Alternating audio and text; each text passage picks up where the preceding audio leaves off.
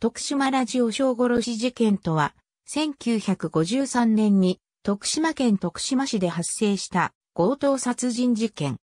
犯人とされた藤重子に対し、刑の確定及び死後に再審によって無罪が言い渡された冤罪事件である。日本弁護士連合会が支援していた。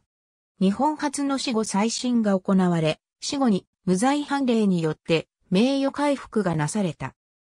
1953年11月5日の早朝、当時50歳のラジオショー、三枝電気店の店主男性が、徳島県徳島市の自宅店内で殺され、彼の内縁の妻だった当時43歳の藤、重子も負傷した。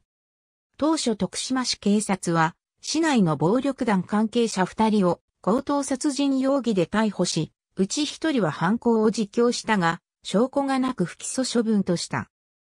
事件から8ヶ月後、検察は、ラジオショーの住み込み店員の当時17歳と16歳の少年二人を別件逮捕し、一人は45日間、もう一人は28日間にわたって身柄を拘束して取り調べ、そこで得た証言から藤の犯行であると断定し、1954年8月13日に逮捕した。一審判決言い渡しの日、裁判所へ向かう藤第一審、徳島地方裁判所は1956年4月18日、藤に懲役13年の有罪判決を言い渡し、控訴審、高松高等裁判所も1957年12月21日に、藤の控訴を棄却する判決を言い渡した。藤は上告したが、裁判費用が続かないため1958年5月10日に上告を取り下げ、懲役13年の判決が確定した。その直後に、藤に証拠隠滅を依頼された店員が、検事に強要されて偽証したと告白し、真犯人を名乗る人物が、沼津警察署に自首したが、後に不起訴処分となる。藤は、模範囚として服役しながら、再審請求を始めた。1966年11月30日に仮出所。指定や市民団体の支援のもと再審請求を続けた。1970年の再審請求では、有罪の決め手となった二人の店員が、富士山が犯人だと言ったのは嘘だったと語るテレビ放送のテープが新証拠として提出されたが、認められなかった。再審請求は続けられたが、第5次再審請求中の1979年11月15日、富士は腎臓癌のため死去した。去年69。その後、藤野医師は指定が受け継ぎ再審請求がなされた。第5次再審請求は1980年12月13日に徳島地裁が再審開始を決定。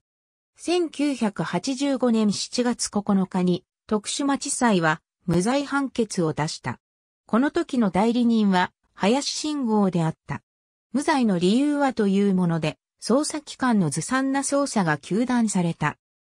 1985年12月12日、徳島地裁は、藤の娘に対して、逮捕された1954年8月13日から、仮出所した1966年11月30日までの4493日間に7200円をかけた額である3235万円の刑事保障を支払うことを決定した。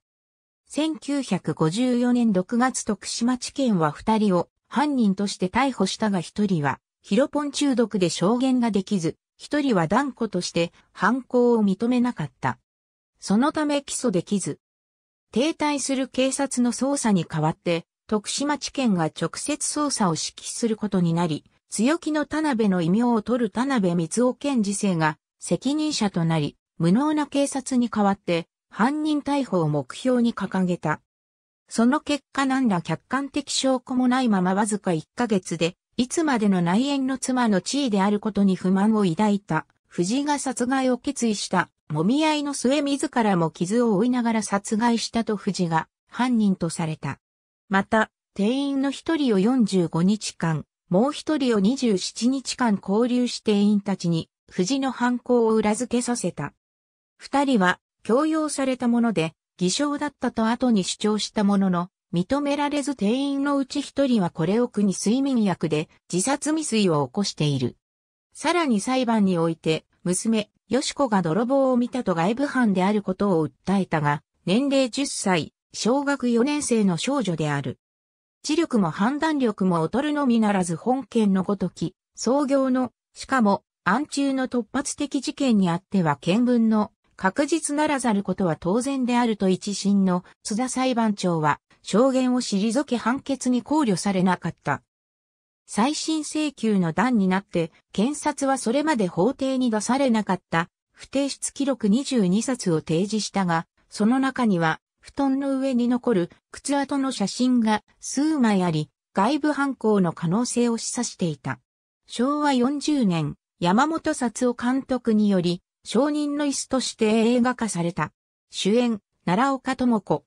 1980年、早坂明によって、暁は寒かった、誰かが母を殺した日、という題で NHK 土曜ドラマにてドラマ化されている。藤重子を渡辺美佐子が演じた。ありがとうございます。